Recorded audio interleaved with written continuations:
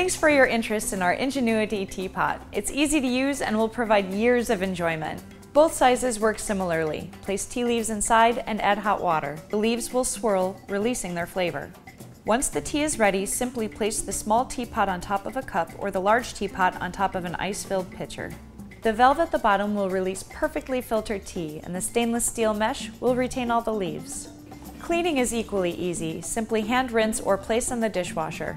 For easy placement, the lid pops off and back on for reattachment. Simple to use and easy to clean, making these the most ingenious teapots you'll ever own.